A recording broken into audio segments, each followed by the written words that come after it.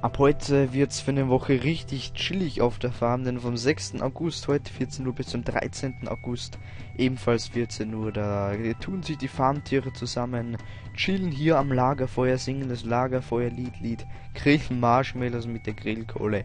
Herrlich, ja. Was es alles damit zu tun hat, das Camping-Event ist heute gestartet. Alles, was wir dazu tun müssen bei diesem Event, was es gibt, das Belohn und so weiter und so fort in diesem Video. Ja, diesmal gibt es wieder ein Eventplätzchen. Das ist dieses Jahr wie gewohnt vor der Farmhalle mit den neuen Tipps, die es auch gibt. Und da gibt es, wie wir hier eben sehen, insgesamt fünf Aufgaben. Allerdings die fünfte Aufgabe, die letzte, die kann man erst betreten, wenn man hier alle anderen vier komplett abgeschlossen hat. Und das müssen wir dazu tun. Und zwar müssen wir wieder etwas anpflanzen. Nämlich, wie gesagt, die Marshmallow. Die Marshmallow-Staude, um genau zu sein. Die kann man anpflanzen überall auf allen Farmflächen und wenn ich nicht irre, schauen wir lieber mal nach, zum Schluss irre ich mich wieder auch auf Bahamaram auf der Waldlichtung auch anpflanzbar, weil das war beim letzten Mal eine Windpflanze teilweise nicht auf Waldlichtung anpflanzbar. Dieses Mal schon wieder hier auch auf Bahamarama die Marshmallow Staude und diese hat eine Anpflanzzeit von 8 Stunden insgesamt hier, also ziemlich heftig kann man sagen, oder auch nicht, vielleicht findet man es nicht heftig. Jedenfalls hat jeder Spieler von Beginn an wieder 10 Stücke davon und da muss man eben hier gucken, dass man die schnellstmöglich dann eben hier vermehrt, indem man immer mehr anpflanzt und dann wieder erntet und so weiter und so fort. Anfang mache ich es ja auch so am Anfang nur große Felder.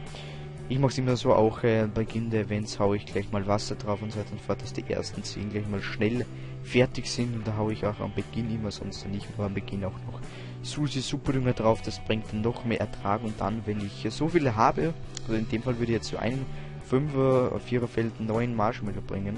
Wenn ich wirklich süße Suppe nur drauf habe, nur noch 2 Stunden 18, weil ich wirklich alles drauf geschmissen habe. Man könnte natürlich noch mit äh, Stollen, Superdünger, Effektivität noch verringern und so weiter und so fort. Ja, aber ich sag mal jetzt hier so.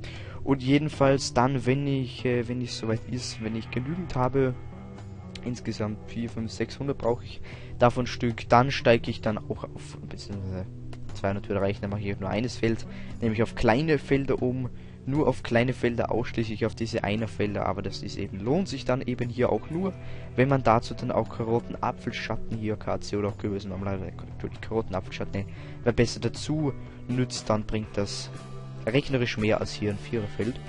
Das ist ja kein Geheimnis mehr, aber so nebenbei noch gesagt, dass zum einen hier die Marshmallow-Staude anpflanzt, des Weiteren tropft auch wieder was und das ist beim Camping-Events.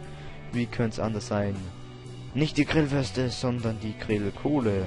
Wo ist es? Wie viel habe ich zu Beginn? Wie viel ist bei mir getroppt? Ne, 143 Stück, okay. Also das ist das Top-Item. Tropft wieder gewohnt aus der Ernte von den Pflanzen, von den Stellen oder auch von den Bäumen des Items. Ich, wie gewohnt, da tropft es ja nicht raus, aber sonst überall grundsätzlich. Ja, und das ist es schon im Wesentlichen. Man braucht auch noch viel anderes Kleinzeug, dass man eben, wie gesagt, hier dann in der Stadt oder man kann auch über den Eventtimer zugreifen, wie auch immer hier, dann abgeben kann dem Fall noch nicht, da braucht man 3600, habe ich nicht, aber beispielsweise braucht man etwas anderes wie hier Pflaumen man brauchen oder ein paar Häschen hier. Insgesamt, wenn wir schon dabei sind, was man denn alles braucht, um das Event hier komplett abschließen zu können, schaffen, braucht man folgendes, und zwar 19.000 um genau zu sein, von den Marshmallow. Staunen hier 970 Grillkohle, 60 Hühner, 70 Hasen, 25 Schafe, 45 Schweine, 12 Ziegen, dann von den Pflanzen 800 Sonnenblumen und 500 Brombeeren und Baumfrüchte. Hier braucht man noch 33 Walnüsse, 35 Pflaumen, 40 Maulbeeren und 35 Kirschen. Klingt vielleicht heavy, so heavy ist es nicht, aber die 19.000 Marshmallow-Stauden und 970 Grillkohlen, das wird vielleicht nicht so einfach. Aber das, wie gesagt, um das Event jetzt hier komplett zu schaffen hier, ja, wenn ihr euch fragt, 79 Grillkohle in der Woche, what the fuck, das ist ziemlich viel. Braucht ihr ein paar Tipps? Dazu habe ich ja mal ein Video gesagt, wie man die Drop hatte noch ein bisschen erhöhen kann. Ein paar Tipps dazu, dazu der Link zu dem Video auch nochmal in der Videobeschreibung. Gut, das ist zum einen, nach dem Event wird dann die Marshmallow-Staude, bleibt nicht dauerhaft im Spiel. Wie schon lange keine Windpflanzen mehr eigentlich, aber gut, was soll's.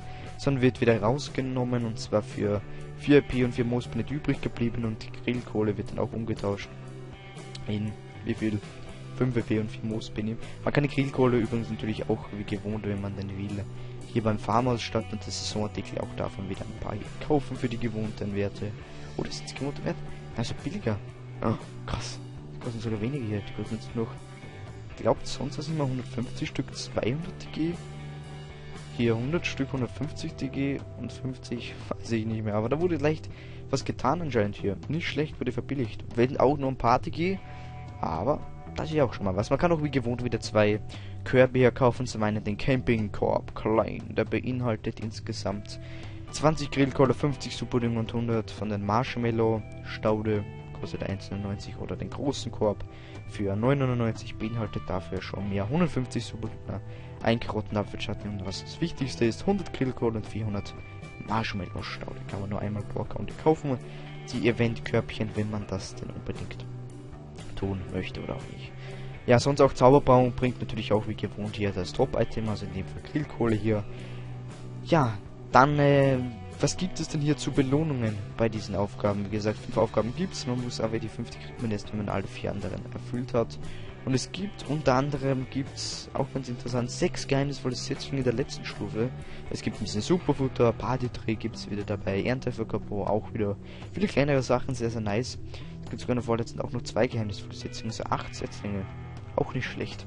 Okay, aber es gibt natürlich auch was bei Events so üblich ist. Items und Sticker und zwar das hier ist der Event-Sticker hier, der zählt. Und da ist anscheinend die Ziege Forever Alone. Anscheinend. Ne, so sieht der Event-Sticker aus. Und es gibt zwei Items und zwar haben wir zum einen Brand. Gefährlich. Das Item bringt alle 14 Stunden 675 EP auf den Zweifel. Das ist nicht schlecht. Also man muss sagen, die letzte, in letzter Zeit die Events, die Items von EP her die sind wirklich gut. Dann gibt es auch noch einen zweiten Event-Sticker, der ist äh, Drill, die Grillkohle, kann man sagen. So sieht's aus. Und auch noch ein zweites Item. Zeltbaumeister. Das haben wir hier. Lustige Animation bringt alle 14 Stunden auf dem Viererfeld. 1555 EP. Was für eine schöne Zahl.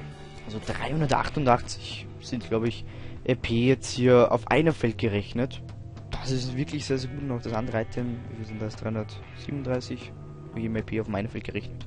Also auch für alle EP-Items, Freak, die gerne Items haben, die viel EP bringen, lohnt sich definitiv teilzunehmen. Die Items sind not bad, kann man das sagen.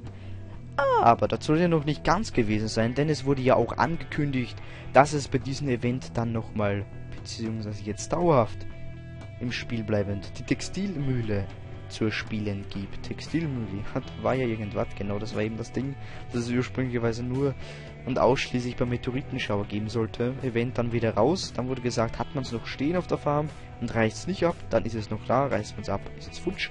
Und jetzt dauerhaft im Spiel, sehr, sehr nice, hat mich sehr, sehr gefreut damals, wie die Meldung rauskam. Ja, ist eben hier die Werkstube vom Eichhörnchen und die bringt dann eine Picknickdecke, das ist das Erzeugnis.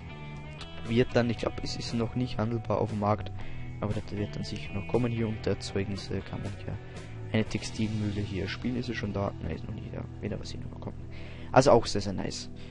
Okay, gut. So viel dazu. So sieht es also aus zum Camping-Event. Einfach ist es nicht, wenn man so, das sieht eine Woche Zeit für fast 1000 Drop-Items, 19.000 äh, Marshmallow-Stauden. Dafür gibt es wirklich hammergute Items, muss man sagen. Von da schauen wir mal, was drin sind. Zum Ende kommt dann natürlich auch noch ein Event im Check-Video. Wie sieht war denn euer erster Eindruck beim Eventchen aus? Macht ihr mit oder nicht?